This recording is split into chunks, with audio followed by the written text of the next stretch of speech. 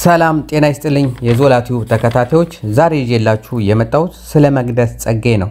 መቅደስ ጸጌ ግብረ ሰዶምን አትቃወምም ወይ ደግሞ ግብረ ሰዶምን ትደግፋለች የሚሉ ወሬዎች እየወጡ ነው ያሉት።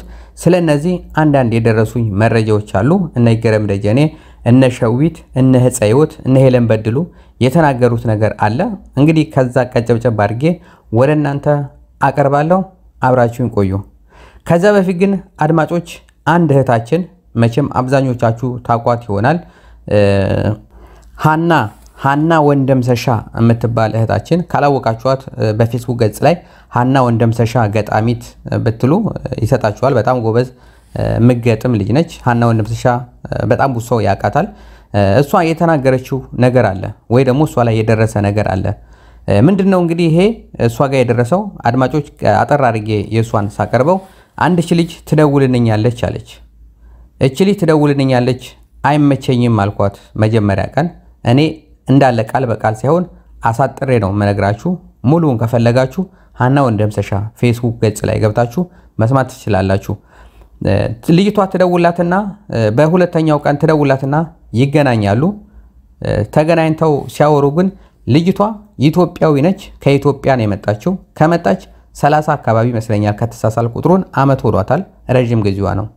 ግን በጣም ደረቷን ነፍታ ስትናገር የነበረው ግብረ ሰዶምን እንደምታራምድና ሀና ወንደምሰሻ ደግሞ ስለ ግብረ ሰዶም ትሰራለች ይመስለኛል። እንደዚህ አይነት ስራ እንዳትሰራ አርፋ እንድትቀመጥ እንድትነግራት ነው የፈለገቻት። በጣም በሚገርም እና በሚያሳዝን ሁኔታ እንግዲህ እንዴት እንዳውጣጣቻት አላቅም። በጣም ብዙ ሰዎችን ወደ ግብረ ሰዶም እንዳስገባች እች ልጅ ወደ ኢትዮጵያ እየሄደችም በየስድስት ወሩ ነው ወይስ በአመት ትበል በስድስት ወሩ መሰለኝ ወደ ኢትዮጵያ እየሄደች ሰዎችን እንደዚሁ እንደምታበላሽና ወደዚህ ውስጥ እንደምታስገባ ይህንንም ስታረግ የተለያየ ሳንቲም እንደሚመደብላት መንግስትም እንደሚያውቀው ይሄን ጉዳይ ዝም እንደሚል አውቆ ይሄን ነገር እንግዲህ ለሀና ወንደምሰሻ ነግራታለች ማለት ነው። በውጭ ሀገር ደግሞ ያሉትን እንደዚሁ በደካማ ጎናቸው ለምሳሌ በስራ ሊሆን ይችላል። አብዛኛው እንግዲህ ውጭ ላይ ወይ ደግሞ ጀርመን ላይ የወረቀት ነው ችግር። በወረቀታቸውም እየገባች እንደዚህ በደካማ ጎናቸው እየገባች ወደዛ እንደምትወስዳቸው ተናግራለች። በጣም የሚያሳዝን ነው። እንግዲህ ሀናም ወንደምሰሻ ይሄን ሰዎች ልጆቻችሁን ጠብቁ ብላ ተናግራለች። አሁንም በአውሮፓም በተለያየ ቦታ ያላችሁ ሰዎች ልጆቻችሁን ጠብቁ፣ ልጆቻችሁን ቅረቡ፣ ልጆቻችሁን አማክሩ። የት ዋሉ? ምን ሲያደርጉ ዋሉ? ከማጋ ዋሉ? ከቻላችሁ አብራችሁ ዋሏቸው እላለሁ። ከትምህርት ቤት ውጭ እንግዲህ ይሄን ደርሶባታል። ይሄ ነው ያለው።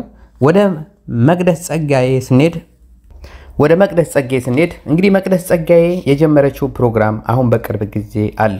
ምንድን ነው ይሄ ፕሮግራም? ዝም አንልም ነው። ስለተደፈሩ ሰዎች ዝም አንልም የሚል ፕሮግራም ነው አዘጋጅታ እየሰራች ያለችው።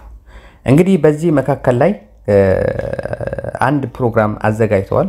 ይህንን እንግዲህ በየኢንስትግራሟ ላይ ሰዎች ዝም አንልም እያሉ ይሰጧታል። ጓደኞቿ እነ ይገረም የተለያዩት እንደዚህ ጓደኞቿ እሷም ይህን ተቀብላ በኢንስትግራሟ ላይ ትፖስታለች። የተለያዩ ስራዎችን ይሰራሉ። ግን የገጠማቸው ነገር በጣም ከባድ ነገር ገጥሟቸዋል። ይሄ ነገር የገጠማቸው ምንድን ነው? ሰዎች እየደወሉ ምንድን ነው የምትሰሩት?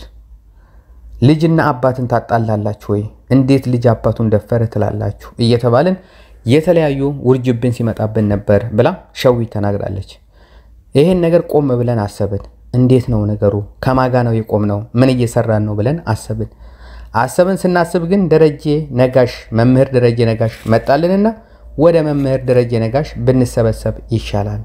ረዥም ጊዜ ስለሰራ እውቀቱም ስላለው ስለበሰለም ስራውንም ስለሚያውቀው አካሄዱንም ስለሚያውቀው ወደ እሱ ተጠግተን እሱን ብናግዘው የተሻለ ስራዎችን እንሰራለን ብለው ተማክረው አብዛኞቹ ወደ ደረጀ ይሄዳሉ።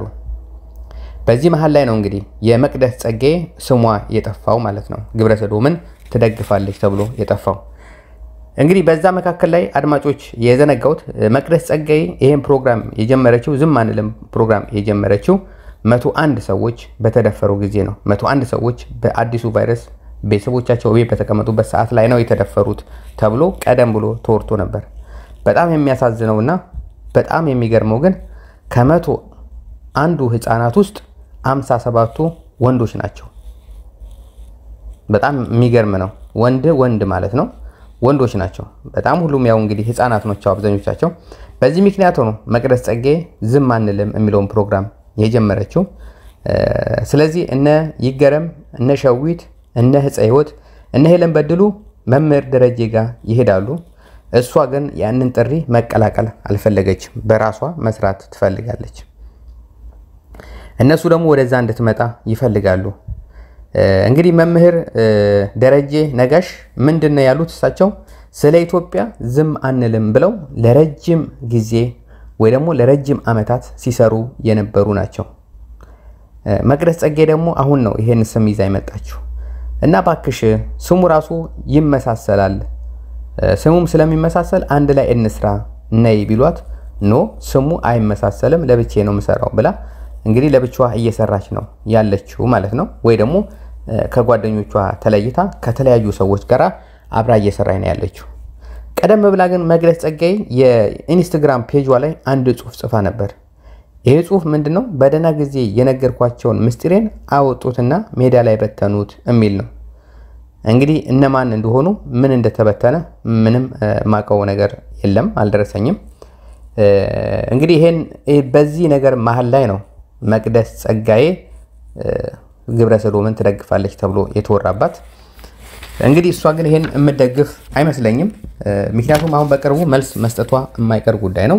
መልስ ትሰጣለች ብዬ አስባለሁ። ይህም መልስ ስትሰጥ ወደ እናንተ የማቀርበው ጉዳይ ይሆናል። ምክንያቱም እነሱ በትክክል ስሟን ጠርተው ነው መቅደስ ጸጋዬ ከኛ ጋር መስራት አትፈልግም ብለው ነው በትክክል ስሟን ጠርተው የተናገሩት። ስለዚህ ለዚህ ጉዳይ መልስ መስጠቷ አይቀርም።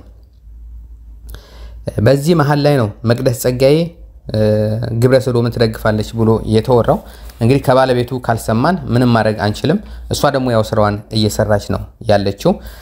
በእርግጥ አብረዋ ሲሰሩ የነበሩት እነ ይገረም ደጀኔ ቀደም ብዬ እንደተናገርኩት እነ ሸዊ ከበደ፣ እነ ፀሐይ ህይወት፣ እነ ሄለን በድሉ ወደ ደረጀ ተቀላቅለዋል። አንድነት ይሻለናል፣ በአንድ ላይ ብንቆም ይሻለናል፣ አንድነት ኃይል ነው ብለው እሱ ጋር ሄደዋል።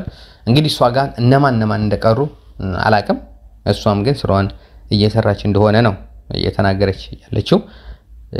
እንግዲህ ይሄ ነው ይሄ ነው ጉዳዩ። ለማንኛውም አድማጮች እሷ እንደዚህ አይነት ስብዕና እንኳን ያላት አይመስለኝም። እኔ በጣም እምወዳት እማከብራት፣ ስራዎቹንም እምወድላት፣ በጣም እመከታተላት። እንደው አንዳንድ ጊዜ ድራማ ስናይ ማን ነው እዚህ ድራማ ላይ ያለው ብለን እናስተውላለን ብዬ አስባለሁ። እኔ አሁን ድራማ ሳይ አያለው መጀመሪያ እነማን ናቸው እዚህ ድራማ ላይ ያሉት፣ ከዛ በኋላ ነው የማየው እና ከነዛ ሰዎች ውስጥ ደግሞ አንዷ እሷ ነች። በጣም ብቃት ያላት ልጅ ስርዓትም ያላት ልጅ ነች እና እንደዚህ ትሆናለች ብዬ አልገምትም። ለማንኛውም የምትሰጠው መልስ ይኖራል። መልሱን አብረን የምናየው ጉዳይ ይሆናል። ምክንያቱም ሚዲያ ላይ ስሟ ተጠርቶ ተናግረዋት ዝም ትላለች ብዬ አላስብም። ለነዚህ መልስ ትሰጣለች። እንግዲህ አድማጮች ምናልባት የሰማችሁት ነገር ካለ ምናልባት ወይ ደግሞ የዘለልኩት ነገር ካለ አስተያየታችሁን ከታች ብታስቀምጡልኝ ደስ ይለኛል። ስለ እሷም ያላችሁን አስተያየት ለምንድን ነው ከነሱ ጋር አልሰራም ያለችው? ለምን ብቻዋን ለመቆም አሰበች? ምንድን ነው ምክንያቷ? እውነትስ ብላለች ወይ? ስለ ወንዶቹ ሳይሆን ስለ ሴቶቹ ብቻ ነው የምሰራው ብላለች ወይ? እውነትስ? እና ይሄ ይሄን ነገር መቼም ሁሉም የሚወጣውን ዜና እሰማለሁ ማለት አይደለም። የሚያልፈኝ ዜና ሊኖር ስለሚችል አድማጮች ደግሞ የምታውቁት ነገር ካላችሁ comment ላይ ብታሳውቁኝ በሚቀጥለው ቪዲዮዬ ይዤ እመጣለሁ ከእሷ መልስ ጋር ሌሎችንም ደግሞ እንደዚሁ አጠናክሬ ይዤ የምመጣው ጉዳይ ይሆናል። መልካሙን ያሰማን እላለሁ። በዚህ አጋጣሚ እንግዲህ አድማጮች ዩቱባችሁን ማስተዋወቅ የምትፈልጉ ልጆች ዩቱብ የማስተዋወቅ ስራ እየሰራው ነው ወይ ደግሞ ልሰራ ነው ያለሁት ሰሞኑን እጀምራለሁ ብያለሁ። ዩቱባችሁ እንዲተዋወቅላችሁ የምትፈልጉ በውስጥ ዞላ ቲዩብ ዞላ ቲዩብ የሚባል ፌስቡክ ገጽ አለኝ። እዛ ላይ መታችሁ ማናገር ትችላላችሁ። ምንም ክፍያ የለውም። በነፃ ነው ዩቱባችሁ የሚተዋወቀው። ምንም የምትከፍሉት ነገር የለም። ግን ዩቱባችሁን ስታስተዋውቁ የሰው ሙዚቃ፣ የሰው ስራ፣ የሰው እያደረጋችሁ ሳይሆን በራሳችሁ ስራ የራሳችሁን ስራ የምትሰሩ ልጆች ዩቱባችሁ እንዲተዋወቅላችሁ ወይ ደግሞ ከፍ ወዳለ ደረጃ መድረስ የምትፈልጉ ሰዎች ማስተዋወቅ ትችላላችሁ ማለት ነው። በነገራችን ላይ እኔ ላይ ብቻ አይደለም የሚደረገው ከኔ በተሻለ ተከታይ ያላቸው ልጆችም አሉ። እነሱንም አናግሬ ችግር የለውም አሪፍ ሀሳብ ነው፣ share እናደርግልሃለን፣ share ይደረጋል፣ ሰዎችን በእንደዚህ አይነት ምክንያት ማሳደግ እንችላለን ብለውኛል።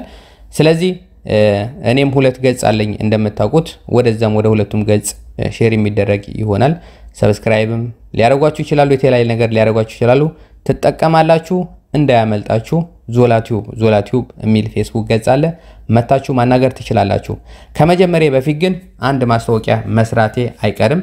ለማንኛውም ቅድሚያ ዝግጅት እንድታደርጉ ነው ይሄንን እየተናገርኩት። ተከታተላችሁኝ ስለ ሁሉም ነገር በጣም አመሰግናለሁ። መልካም ቆይታ ይሆንላችሁ። ዞላ ቲዩብ